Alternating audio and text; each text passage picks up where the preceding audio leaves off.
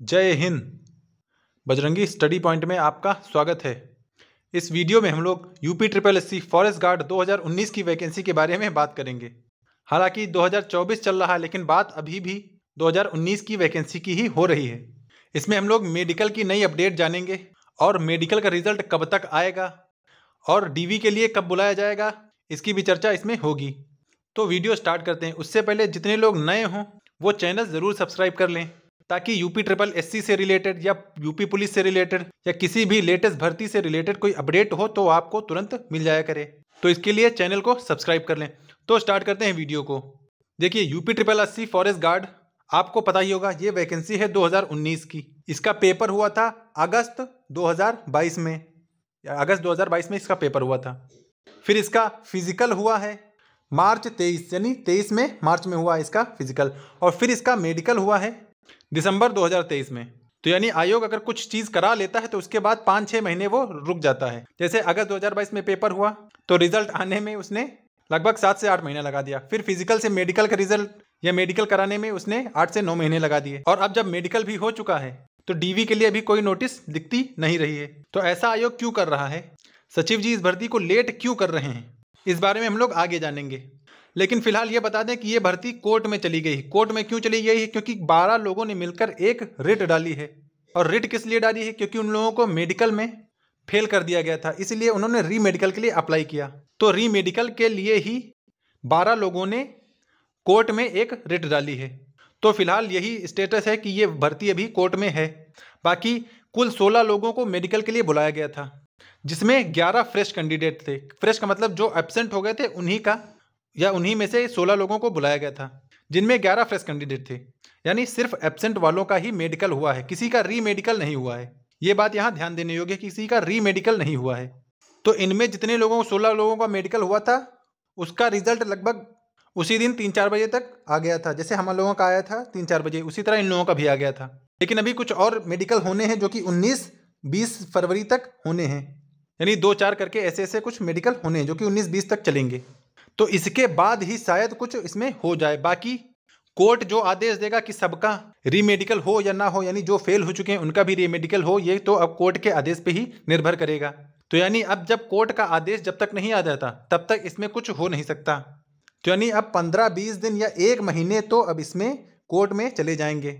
तो अगर एक महीना ये चला गया तो लगभग पूरा फरवरी इसी में निकल जाएगा, पूरा फरवरी इसी में निकल जाएगा। उसके बाद आ जाएगा चुनाव। उसमें आचार संहिता लग जाएगी।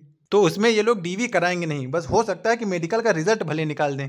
लेकिन मेडिकल का रिज़ल्ट आने में अभी देरी हो सकती है, क्योंकि अब ये कोर्ट में चला गया तो जब तक कोर्ट से कोई आदेश नहीं आएगा, तब तक इसको आगे नहीं बढ़ाया जाएगा। बाकी जो कुछ लोगों का मेडिकल होना है, वो उन्नीस बीस फरवरी में होगा तो जब तक सबका मेडिकल नहीं हो जाता। तब तक एक साथ कंबाइंड रिज़ल्ट नहीं आ सकता। तो जब तक सबका रिज़ल्ट हो जाए मेडिकल हो जाएगा, फिर एक साथ कंबाइंड रिज़ल्ट आएगा। तो आप यहाँ मान सकते हैं कि मेडिकल रिज़ल्ट आने में भी टाइम लग सकता है।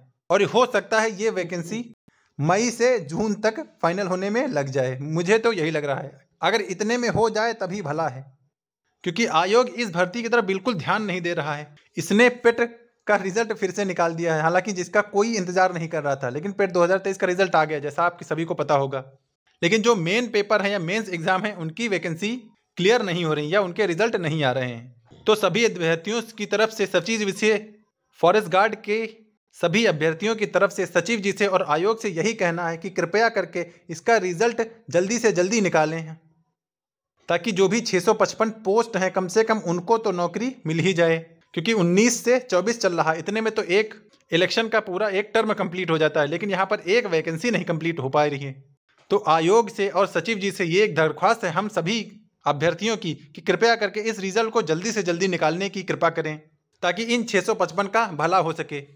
तो अपडेट यही है कि भर्ती कोर्ट में चली गई है। जब तक कोर्ट कुछ निर्णय नहीं देता है, तब तक आयोग भी कुछ नहीं करेगा। वैसे भी आयोग करता ही क्या है, लेकिन अब तो आयोग को एक बहाना और मिल गया कि जब तक कोर्ट से राहत या कोई सूचना नहीं मिल जाती, तब तक आयोग इसको नहीं बढ़ाएगा। और बाकी जब तक 19-20 फरवरी में कुछ लोगों के मेडिकल होने हैं ये उन्नीस, बीस फरवरी तक कंप्लीट हो जाएँगे।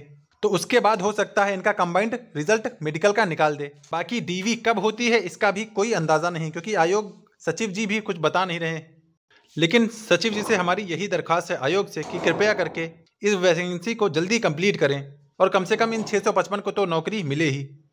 और एक अपील उन अभ्यर्थियों से भी है, जो कहीं ना कहीं सिलेक्ट हो चुके हैं, जिनका कहीं सिलेक्शन हो चुका है, अब वो कृपया इसमें अपनी डीवी ना कराएँ। यानी उन भाइयों बहनों से अनुरोध है कि जिनका कहीं भी सिलेक्शन हो चुका है किसी अन्य एग्ज़ाम में या किसी अन्य भर्ती में तो वो अब इसमें डीवी ना कराएँ, ताकि जिनके कट ऑफ़ से थोड़ा बहुत ऊपर मार्क्स हैं, उनका नंबर हो जाए और आपके आशीर्वाद से ही उनको नौकरी मिल जाए।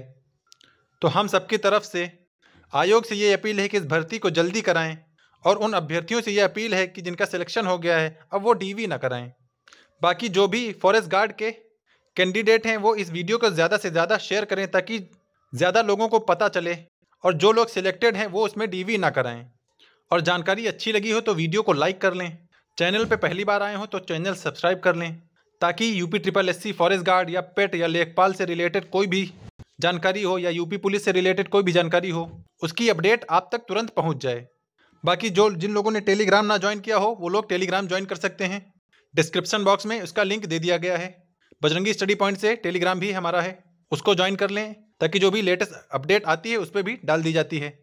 और एक बार फिर से आयोग से यही अपील है कि हम सभी अभ्यर्थियों की इस दुख या दर्द को समझें और अब इस भर्ती को ज़्यादा लेट ना होने दें। बाकी वीडियो देखने के लिए धन्यवाद। मिलते हैं नेक्स्ट ऐसी अपडेट में।